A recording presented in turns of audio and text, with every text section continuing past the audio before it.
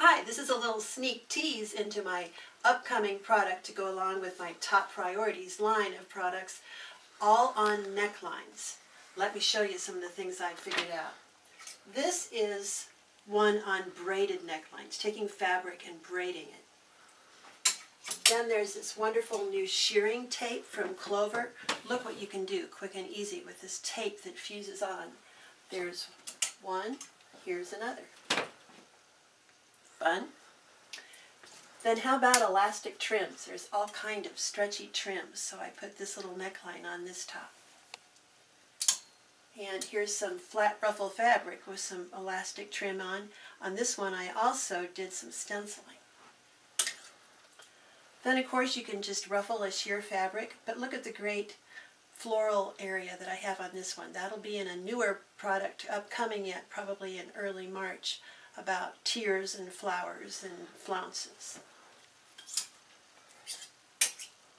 Then you probably all were taught how to make this little shell trim when you first got your sewing machine, but you probably have never used it, so I'm teaching you that. I like it best out of a woven bias, but you can also do it out of a knit.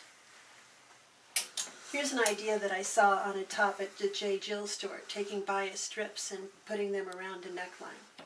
Whoops, there's the front. This one happened to be a sports shirt that belonged to my late brother. I cut it apart and added this stretchy trim. How about taking a piece of fabric, folding it in half, not pressing it, and gathering the edges together to make a narrow gathered tube. Then I had fun with paint sticks on the front of this tee with the lace on the back. I call this one the Chico twist. See how that fabric kind of twists there for the neckline? Took a little bit of thinking to figure it out, but I've got it waiting for you in the new Necklines Top Priorities booklet.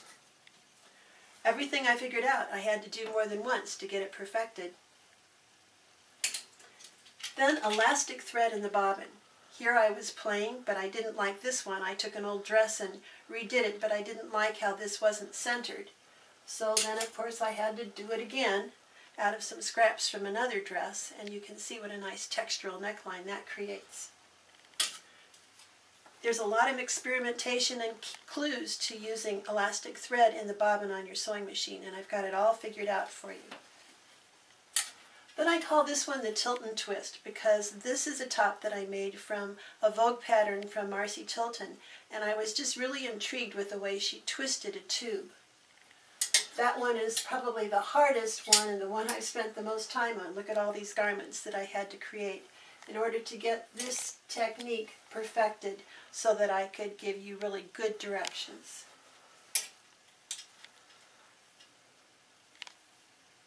But they're there, they're there written, and they're there in the talking format, or they will be. So then after the necklines is going to come cardigans or twin sets. So here's the cardigan jacket that went with the top I just showed you. I figured out how to create fullness with elastic thread. Here's another great trim on this cardigan jacket using the elastic thread in the bobbin to texturize. I'm playing with flounces, circles, hidden front button closings,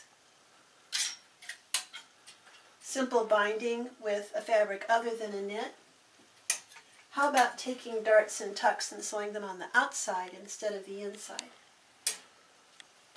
This is the new Decolorant, which, which removes dye and deposits color. And then, wow, what you can do with circles. Look how much fun you can have with circles, cut apart and sewn on straight.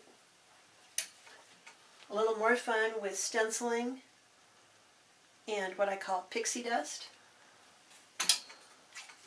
some more flounces, stenciling, and more. It's all waiting for you in the top priorities products, so be sure to keep track of how I'm developing everything on my blog and sign up for my newsletter.